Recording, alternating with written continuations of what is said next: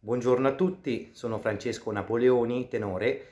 Ringrazio gli amici del Festival Pucciniano e Musicarte per avermi invitato a parlare un po' del maestro Giacomo Puccini e del mio legame artistico con il grande compositore. Per me parlare di Puccini è molto emozionante, ma da una parte anche semplice, in quanto fu il primo compositore che ascoltai. Ricordo avevo forse 5-6 anni, ascoltai eh, come prima romanza E Luce nelle stelle dalla Tosca e, ehm, e, poi la prima opera che acquistai fu proprio sempre di Puccini, la Manon Lescaut. Prima di, di, questo acquisto ricordo che prendevo in prestito qualcosa da qualche amico che aveva qualche genitore appassionato, perché era un po' insolito che un bambino all'elementare o nei primi anni delle medie magari seguisse o ascoltasse l'opera lirica, però il primo acquisto fu quello della Manon Lescaut. Sono, eh, posso ammettere che ascolto più spesso musica sinfonica che opera lirica, ascolto più Beethoven, Mahler, Brahms che opera, però con, grazie a Puccini, cioè con Puccini trovo un legame molto forte con, con la sinfonica.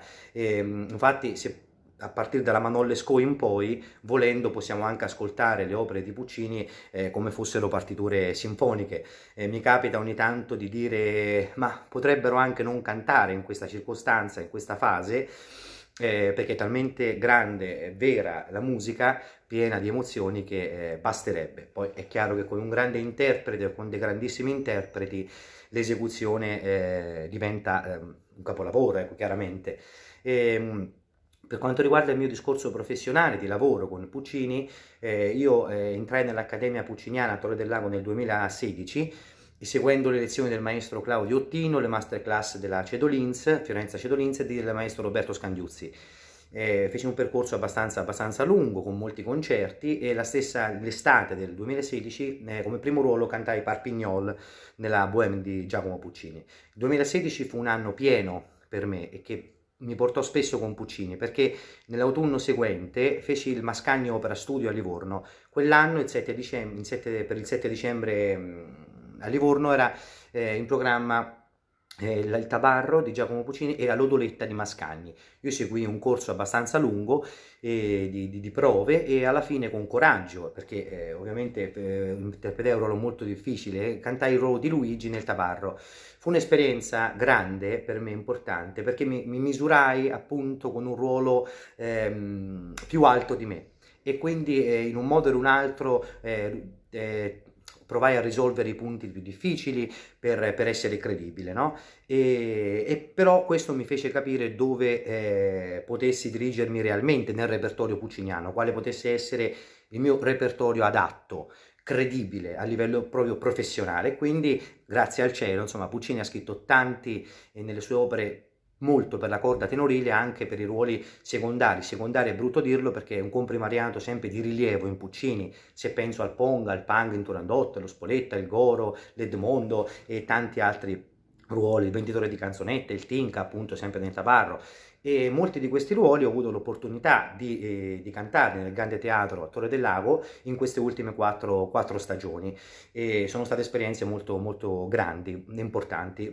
Ci tengo a ricordarne una, nel 2018 cantai Spoletta in Tosca con la regia del maestro Giancarlo del Monaco. Mi piace, eh, mi piace eh, ricordarlo un attimo, eh, parlare del maestro del Monaco, perché mi insegnò molto. Lui furono prove molto intense e cercava di mi aiutava a togliere, a togliere il superfluo. Questo è importante non solo per un cantante, è importante per un attore, ma è importante anche nella vita in generale, cioè togliere tutto quello che poi non serve a nulla per arrivare al, al succo della cosa. Quindi per avere forza scenica, per dare un messaggio forte, mi, mi invitava a fare il meno possibile, ma con energia, anche attraverso uno sguardo. E questo fu molto importante e me lo ritrovo poi oggi anche quando studio altre partiture o quando affronto altri, altri ruoli e questo è molto importante. E, um, non posso non parlare, come ultima cosa, ci tengo però eh, a dire eh, che nel 2016 incontrai Beatrice al Torre del Lago al Festival Puccini, che, che è diventata mia moglie eh, l'anno seguente. E, mm, lei pure è un soprano e ha avuto l'opportunità di cantare con il festival in diverse occasioni per il centenario della Rondine, per il, il trittico, in Suora Angelica, in Butterfly, quindi abbiamo anche condiviso insieme il palcoscenico. E nel 2019, l'anno scorso, è nato nostro figlio Giacomo, mi viene da sorridere perché mm, durante una cena mia moglie mi, dice, mi disse ma perché non chiamarlo Giacomo? Pensavamo al nome e, e, io ovviamente la mia risposta fu subito positiva perché la mente mi, porta, mi portò subito al, al, luogo del nostro incontro, insomma a Torre del Lago e quindi il legame con il maestro Giacomo Puccini.